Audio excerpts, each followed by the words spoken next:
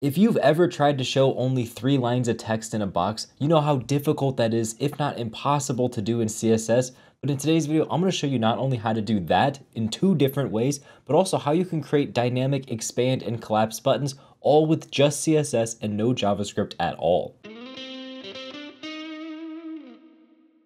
Welcome back to Web Dev Simplified. My name is Kyle and my job is to simplify the web for you so you can start building your dream project sooner. As you can see here, we have these dynamic expand collapse buttons and we have the ability to limit text based on how many lines we want to have shown. For example, three lines, four, whatever it is. And all of this is using just CSS and HTML, no JavaScript at all. I'm going to show you multiple ways to do this text limiting as well as this expand collapse button. Now to get started, this is the demo that we're working with. We just have these really simple cards showing up. And generally when you have cards like this, you kind of want them to be the same height like we have over here in the final version of this. You want them to be about the same height, so we're going to limit the text to a set number of lines. But normally doing that in CSS is very difficult. Now, recently I ran across a video by Kevin Powell where he showed a technique on how to actually do this where you limit something to a set number of lines. And it's really cool and I'm going to show you how to do that. And then I'm going to show you the way that I would normally do this, the way I've always done it in the past. And then we're going to jump into those expand collapse buttons. The first thing we need to do is we need to just give a class to our p tags. Let me just get a cursor here for each one of our p tags. And we're going to say here, class is going to be cut off text. We're going to cut off the text at a certain number of characters. Then in our style sheet, all we have is really basic styles that have these cards showing up on our screen, so nothing too crazy here. Now we can move into this cutoff text section. Now the first thing that I want to do is I want to create a CSS variable that is going to be for the max number of lines that we want to show. I'll just set that to 3. This just makes it so we can actually modify this in the HTML and set any number of lines we want. Then the next thing I need to do is we need to set a couple different properties in order to determine how to make this show up. And the way that this is going to work is the way that Kevin did it in his video, which again, I'll have linked in the cards for you. So the first thing that we need to do is we need to just set the display here to WebKit box. Now this is all going to be using WebKit properties, which is normally things like the Chrome browser and Edge. Those are WebKit based browsers. But these properties are so popular that all the major browsers have implemented them. So they have support pretty much everywhere except for like Internet Explorer. Now the next thing we need to do is we need to set a WebKit line clamp. So WebKit line clamp just like this. And this is where we need to set it to the number of lines we want, like three or four. In our case, we have a variable called max lines, so we're gonna set that to three. Now, if I give this a quick save, you'll notice so far nothing at all has happened. That's because we need to do a few other things. First of all, we need to set an overflow here to hidden. So we're gonna set overflow to hidden. And that almost there. The very last thing we need to do is we need to set our WebKit box. We need to set the orient. So we can come down here to orient and we wanna set this to vertical saying it's a vertical box. As soon as we save, you'll now see that everything is limited to three lines. If I change this here to like five, now everything's limited to five lines or two lines and so on. As you can see, at whatever point where we have the cutoff, you can just see it puts three dots at the very end, that little ellipsis, and then it cuts off all of the rest of the text. Now, if we, for example, did not have overflow hidden, you can see all the extra text is showing up. And if we are missing any of these different properties, nothing's going to work. So it's a little bit finicky to get this situation to work, but the nice thing is, is it works really easily. It's just a couple of properties you need to define, and you automatically get this as ellipses at the end. What happens if you want to do even more than just limit the text like this? Maybe you want to do a display property that's not WebKit box, like you want to use Flexbox, for example. Well, you can't do that with this situation. So I'm going to show you a technique that allows you to do this the exact same way. It's going to have the exact same result. But the biggest difference is you have tons of flexibility since you're setting the height yourself, and you can actually use any different display properties or whatever else that you want out there. So what we need to do is we're just going to get rid of all of the code that we currently have for this. Let's just remove it. And we're going to add back in that overflow of hidden just because we want that overflow hidden because we're going to be limiting our height. Now also, I'm going to set in a variable here for our line height. That's just because oftentimes you have a different line height than just the standard one, for example, 1.4, and we need to take that into account when we determine our height. Because essentially the height of a line of text is just our line height times the actual font size. That's how we get the height of our box. What we can do is we need to do a simple calculation to get our height. We can just say calc here. Our calculation is going to be a variable, which is our max lines. We can get our max lines. We can multiply that by 1 EM, and that's essentially our font size. So we're just taking our font size, multiplying it by the number of lines we want. So we're saying we have five you know, lines of font right here is what this is saying, because this variable is 5. This is 1 EM. And then we just need to multiply that by our line height to make sure we take into account how tall our different lines are. If we do that immediately, you can see all of these boxes are now limited to exactly five lines of text. But actually, they're limited to six lines of text. The reason for that is we're not applying our line height. So let's just make sure we apply our line height just like that. And now if we save, you can see we're perfectly limited to five lines of text and it's taken into account that extra line height. Now, we could probably make this a max height, and the reason for that is if we, for example, set this to like 15 lines, not all of these have 15 lines of text. As you can see, Article 3 has less than 15 lines, so it doesn't fill that full height. If we had this set to height, for example, they would all be that same height.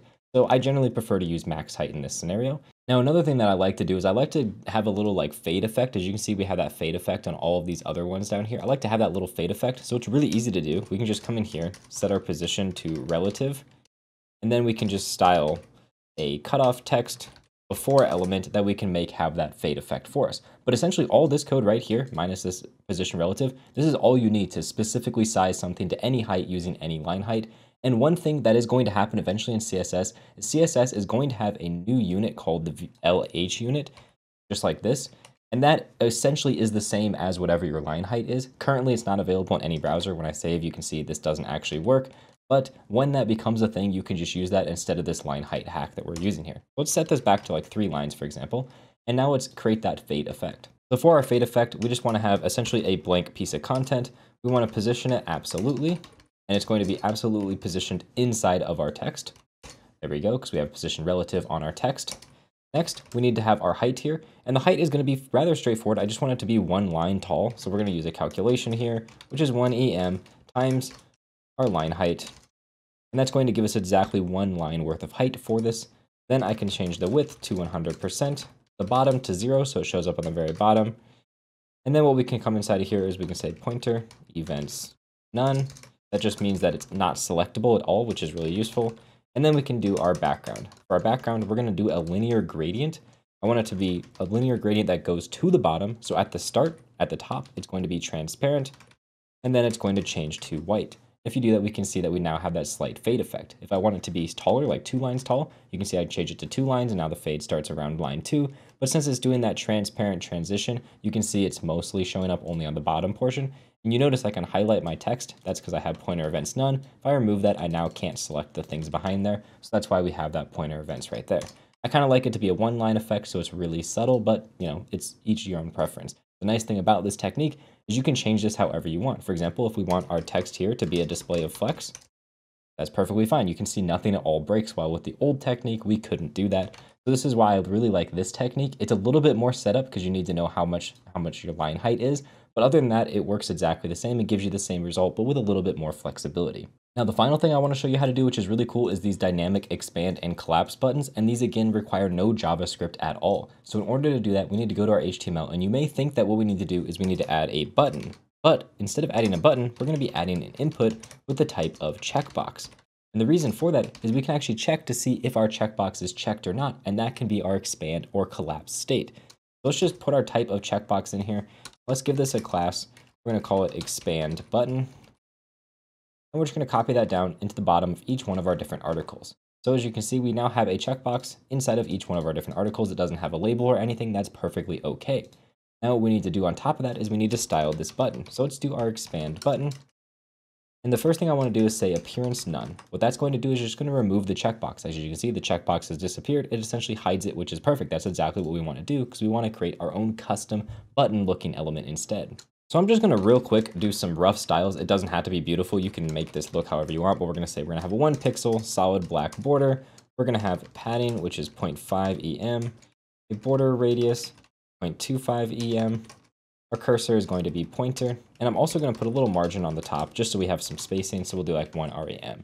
There we go. Now we have essentially, it still looks like a checkbox, but when we click on it, you know, it doesn't have any check state or anything because it's just a solid border and that's all it is right now. Also, I want to add in essentially a hover effect. So we're going to come in here with a hover, change our background color to be CCC. Now when we hover over this, you can see it just darkens it a little bit. That looks really good. Now the next step is going to be adding in the text that we want to have. And that's actually really easy. We can just do the before element, for example. I can change my content here to say expand.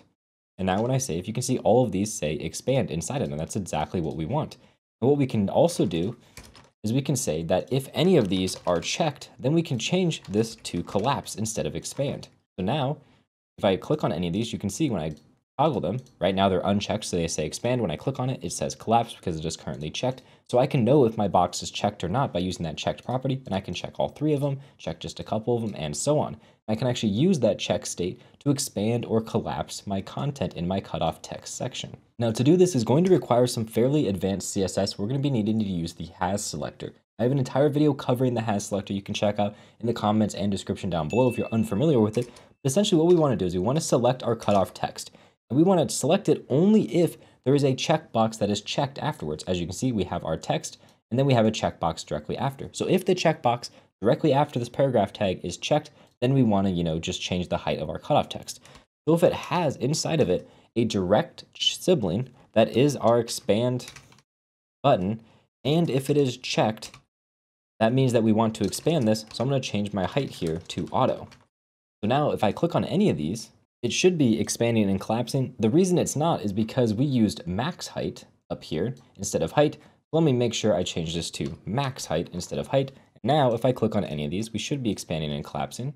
Looks like this is still not working, and that's because our max height should be none instead of auto. I just had this confused with height. Now, if I click on any of these, you can see I can expand them all individually. I can collapse them all individually, and it looks great. The only problem you'll notice is that we have our, you know, text at the bottom that is still being partially transparent. That white background is showing up over top of it. So in order to remove that effect, all we need to do is we just need to make sure we only show this section whenever we are not currently in the expanded state. So we could do another has selector to check for this. We want to check to see when we have that expand button directly afterwards. And we want to check to see if it is not checked, because only when this button is not active do we want to show this. Now you can see by default, everything has that hidden state, but if we expand things, you can see that white border or that white background goes away. And that's all it takes to create this really cool effect using just CSS. Now, if you want to watch Kevin's video, which inspired my video on this, I'll have it linked right over here. Also, if you want to check out that has selector more in depth, again, I'm going to link that video right over here. With that said, thank you very much for watching and have a good day.